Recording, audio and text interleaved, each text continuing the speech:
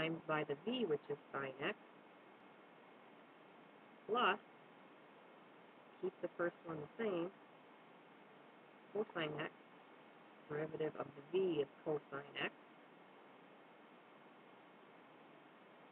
and then this is all over, remember I'm still doing a quotient rule to start with, the bottom squared. The whole bottom squared. So I did a u prime times v. u, all of this was a v prime, and then over the v squared. So simplifying is all I have left. That's a zero, that's gone. I'm going to distribute this negative 1 in. It's going to give me, and then the sine times the sine, bring me sine squared. So I have a positive sine squared minus cosine squared all over. Um, I could distribute this the squared in here, but I'm not going to.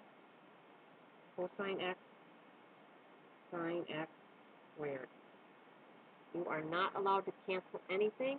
These are holding hands with the subtract sign. I'd have to take the whole group. I don't have anything, so that's as far as. Okay, the assignment then will be, this was four three day two, page 138, quickies 1 through 9 odd.